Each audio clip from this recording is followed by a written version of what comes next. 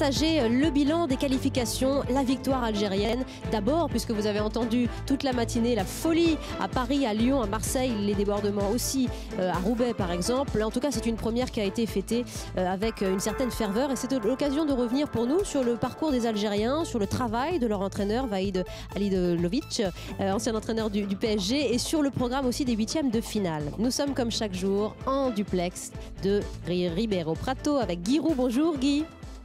Bonjour. Voilà, c'est notre rendez-vous quotidien et apprécier le temps de ce Ah, mondial. quel bonheur. Sachant qu'il est très très très très tôt pour vous, donc je remercie d'autant plus de, de cet effort au, au quotidien. Guy, on a vu les larmes de l'entraîneur algérien hier. Euh, Vaïd, euh, je vais euh, pas de- trop donner son nom de famille parce que j'ai du mal, mais qui a la nationalité française par ailleurs. Est-ce que vous diriez que sans lui, rien n'aurait été possible pour les Algériens? Oui, c'est lui, c'est lui qui a cimenté euh, toutes les forces qui existaient de, de ces jeunes Algériens, euh, franco-algériens pour la plupart, qui ont euh, fait leur centre de forme, d'abord leur, leur, pe- leur petit football de gamins dans les clubs de quartier de Paris, de Lyon et d'ailleurs, et puis ensuite euh, les centres de formation euh, des clubs professionnels.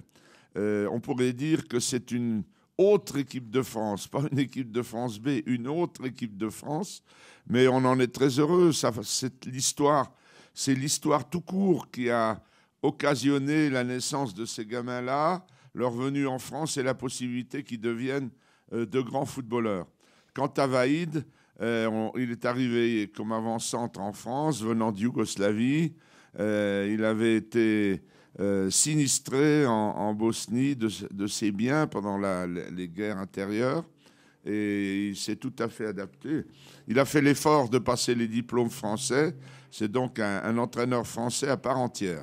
Un exploit historique pour euh, l'Algérie, nous dit Inès sur Facebook. Une grande victoire, nous dit Jamel. Et nous avons Mohamed qui souhaitait aussi rendre hommage à cette euh, équipe algérienne. Vous nous appelez de Strasbourg. Bonjour Mohamed. Bonjour Wendy. Eh bien, on vous écoute parce que vous avez euh, visiblement communié aussi avec cette joie, cette folie qu'on a vue juste après cette qualification euh, un partout face à la Russie hier.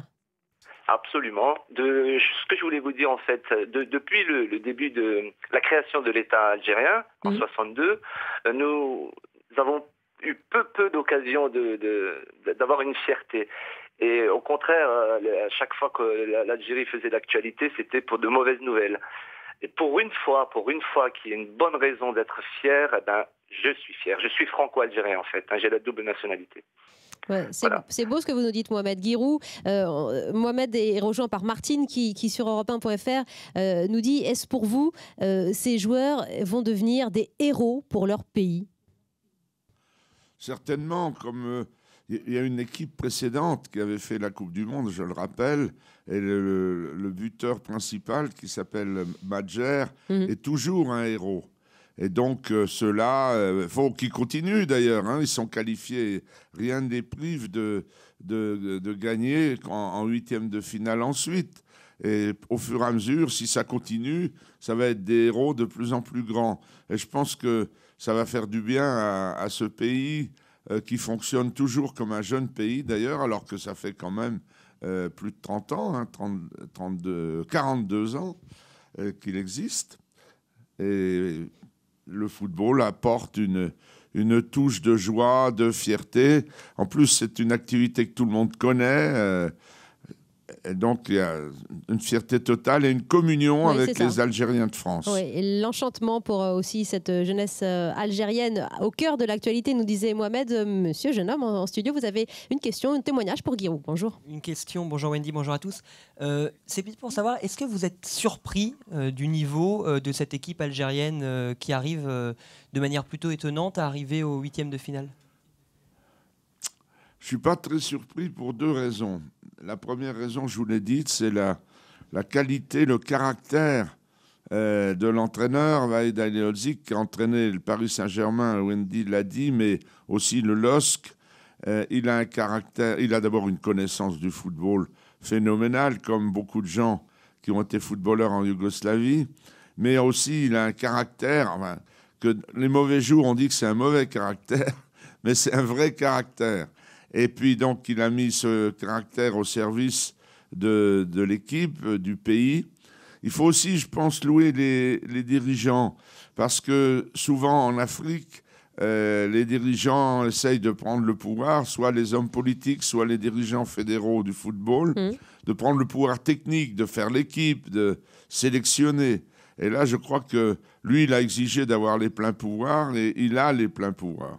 Giroud, on connaît toutes les équipes qualifiées pour les huitièmes de finale euh, de- depuis hier soir, donc on va basculer dans le nouveau temps euh, du, du mondial et, je donnerai la parole aux auditeurs sur le sujet aussi. Un mot pour revenir euh, sur l'Algérie qui, joue lundi le même jour que la France. Nous affronterons-nous le, le Nigeria. Il y a toute l'incertitude du sport, mais entre nous, Guy, Algérie, Allemagne, c'est plié d'avance pour les Algériens? Non, c'est pas plié d'avance. C'est- quand même un, un gros, gros morceau. L'Allemagne n'a pas brillé, mais elle, a assuré le coup à chaque fois. Elle a Müller qui est en, en grande forme et qui met des buts. Mm.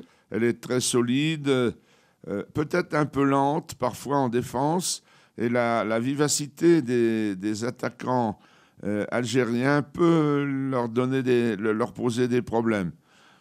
Sur un match, avec l'enthousiasme qu'il va y avoir, eh bien, ça peut marcher.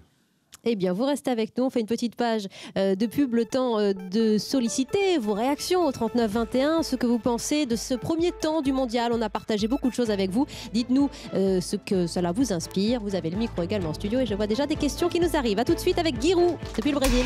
Les auditeurs questionnent nos invités, l'actualité. On se réunit aujourd'hui sur la première partie de ce mondial. Je vous demande ce que vous en pensez en direct. C'est Giroud depuis le Brésil qui vous répond puisque tout commence. L'autre partie du jeu commence demain 18h. Brésil, Chili, Colombie, Uruguay. La France affronte le Nigeria en huitième euh, lundi. L'Allemagne, l'Algérie. Les Pays-Bas, le Mexique. Le Costa Rica, la Grèce. L'Argentine, la Suisse. Et la Belgique, les États-Unis. Voilà ces 16 équipes qui se retrouvent pour les huitièmes de finale.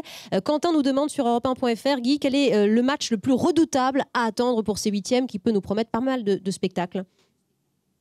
Oh, il y aura beaucoup de, de matchs difficiles. Euh, Je pense que le Brésil ne sera pas forcément à la noce Mm. parce que, bon, en poule, il avait toujours la possibilité de se rattraper d'un petit match nul comme ils ont fait. Là, c'est pas possible. Euh, bon, l'Al- l'Allemagne contre l'Algérie, on l'a dit. Euh, la France, bien sûr. Euh, la Suisse ensuite. D'ailleurs, vous avez remarqué ou pas, je vais vous le faire remarquer, combien le, le- la France et ses voisins euh, et ses cousins brillent. Vous avez la France, vous avez la Suisse, vous avez la Belgique, vous avez l'Allemagne, Mm. vous avez la Hollande et puis vous avez l'Algérie. C'est vraiment un concentré des bons pays du football qui nous font un peu oublier euh, les, les théoriquement super grands, Mm. euh, les, les pays à beaucoup d'argent comme l'Espagne, l'Italie et l'Angleterre. Bon, comme on Et est au ça, milieu, on on va dire qu'on va gagner, Guy. hein. On va dire que ça va nous porter chance. Non, mais c'est limitrophes. Pour moi, c'est une satisfaction. En gros, c'est la France du temps de Napoléon Ier. Ouais, c'est ça. Mademoiselle, alors les- ce sont les femmes, vous avez remarqué, Guy, c'est peut-être euh, vous qui suscitez tout ça, qui prennent la parole le plus euh, fréquemment lors de nos rendez-vous euh, mondiaux. Mademoiselle, vous avez le micro justement dans le studio d'Europe 1 à Paris. Bonjour. Euh, bonjour à tous. Euh, j'ai- je, trouve que les Français ont, ont bien mené le jeu euh, dès le départ. Oui. Et donc, euh, j'ai hâte de voir euh, France-Nigeria, le match France-Nigeria. Mhm. Et euh, je pense qu'on a une bonne équipe. même si dans le match France-Équateur, on a changé pas mal de joueurs. Donc, Pour le reste, vous avez suivi le reste de la compétition oui, pour ces peu. qualifications? Oui. Oui. Et qu'est-ce que vous voulez demander à, à Guy Qu'il vous éclaire un Bah, petit je peu? voulais savoir ce qu'il avait pensé euh, du match France-Équateur, enfin par rapport à l'équipe de France, par rapport aux joueurs qui vont jouer. Mhm. Et euh, et des perspectives. Voilà. Ouais, Giroud, allez, faites-nous une petite Alors, le, analyse. le match France, le match France-Équateur, il n'y avait pas tout à fait l'équipe de France A, puisqu'il y avait six nouveaux joueurs. Euh, le- L'objectif, c'était de faire reposer des titulaires euh, extrêmement actifs comme Valbuena, par exemple, et aussi de découvrir euh, ceux qui, en cas de blessure ou de suspension par la, suite, devraient prendre le relais. Il fallait aussi assurer la première place en faisant par exemple un nul, ce qui veut dire que l'objectif a été atteint. Le jeu n'a pas atteint des sommets, mais on n'a pas eu une, une grande efficacité. Il y a des jours où ça rentre, il y a des jours où ça rentre moins. Néanmoins, on peut dire que le, le boulot a été fait et ça nous permet d'atteindre les huitièmes de finale avec une certaine sérénité et des joueurs frais. Mais le Nigeria, euh, c'est notre paire de manches, c'est beaucoup plus costaud, habitué des Coupes du Monde Oui. euh, et surtout très valeureux sur le plan mental. Alors Guy, euh, puisque on a encore quelques secondes ensemble, euh, que vous nous disiez il y a quelques instants que le Brésil ne serait pas à la noce, voilà, on se projette vers l'avenir. Mais si je vous demande votre sentiment à vous sur euh, cette première partie de, mondial, euh, qu'est-ce que vous nous dites? Vous avez été plutôt séduit par cette compétition jusqu'à présent? Oui, parce que j'étais séduit. D'abord, tout ce qu'on avait dit avant concernant l'organisation du Brésil, c'était le charabia d'avant Coupe du Monde, c'était pour remplir des colonnes. Il n'y a rien de vrai. Mm. Les protestations du peuple, comme dans tout peuple, vont s'exprimer, mais autrement que dans le, le mondial. Euh, L'organisation est très bonne. On nous disait que les avions auraient des retards énormes, etc., que c'était le, le début du XXe siècle. Les avions partent à la minute près de partout où on va. Enfin bon, c'est bien organisé. Pour ce qui concerne le niveau du jeu, il y a beaucoup de buts. Il y a eu beaucoup de buts. Il y a très peu de matchs avec 0-0. Mm. Il y a des renversements. Il y a beaucoup d'attaques. Il y a beaucoup de tirs. Il y a beaucoup de jeux de gardiens. Euh, c'est plutôt très, très, très réjouissant. Plutôt spectaculaire et avec de bons buteurs à venir, Neymar, Messi, Muller, Benzema, Van Persie et Robben, voilà qui va nous assurer euh, encore du spectacle. Merci beaucoup Giroud pour votre analyse.